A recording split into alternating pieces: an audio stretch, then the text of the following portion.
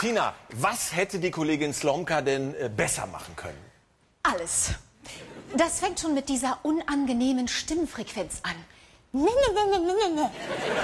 Furchtbar. Und dann kommt sie mit zwei Sachen, die in der Großen Koalition gar nicht mehr gehen. Fakten und Widersprechen. Boah.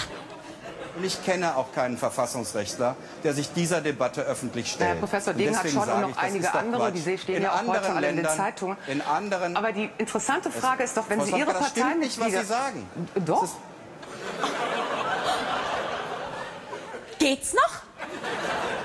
Der Gabriel weist sie total nett darauf hin, dass sie gequirlte Scheiße redet. Ja. ja? Und dass das nicht stimmt, was sie da labert. Und was antwortet die Irre? Doch. Die sagt doch zum Vizekanzler.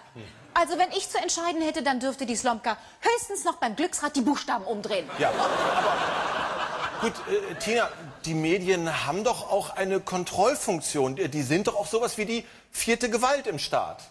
Au! So, Freundchen. So fühlt sich nämlich die erste Gewalt an. Soll ich dir die zweite und dritte auch noch mal zeigen? Nein. Oliver, jetzt kann man doch endlich mal durchregieren mit 80 Prozent Mehrheit. Das Letzte, was wir da brauchen, sind durchgeknallte Schmierfinken, die hinter jedem Dixie-Klo einen neuen Watergate-Skandal vermuten. Ja. Dürfen wir denn überhaupt noch was fragen? Oh Gottchen, natürlich darf man was fragen, aber eben nur nach wirklich wichtigen Sachen. Ist Ihr Mann ein Mensch, der Sie viel im Jogginganzug sieht oder äh, legen Sie Wert auf Kleidung zu Hause? Das, das ist doch mal eine originelle Frage. Ja? Nicht immer, äh, Frau Bundeskanzlerin, warum plündern Sie bald unsere Rentenkasse? Nein, mögen Sie Kleidung? Ja? Oliver, das menschelt, das hat Wärme. Verstehen Sie? Ja? Das ist der Journalismus der Zukunft. Gut, das muss ich mir aufschreiben. Ja. Kanzlerin viel öfter nach Kleidung fragen. Ja. Oh ja, äh, und äh, Sie müssen unbedingt von den Besten lernen. Zum Beispiel von Sigmund Gottlieb. Der hat sowas von drauf. Das ist der Wahnsinn. Wenn der mit Politikern redet, dann klingt das erstmal wie eine Frage, ist aber eigentlich ein Eimer voll Schleim. Frau Merkel, man muss sich ja immer wieder mal die Frage stellen, Sie, Sie machen das alles sehr ruhig, sehr besonnen, sehr, äh, ja, sehr kompromissorientiert, sehr unaufgeregt. Man fragt sich, wann ist diese Frau eigentlich mal so richtig wütend?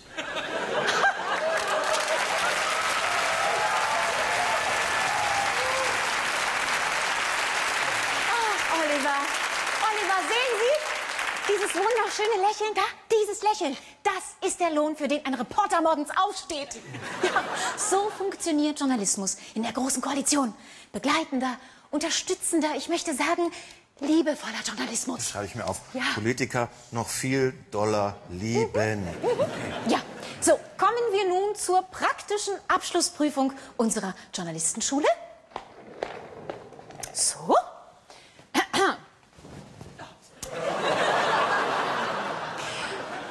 ähm, Oliver, ich denke, Sie wissen, was Sie zu tun haben. Nö, wirklich.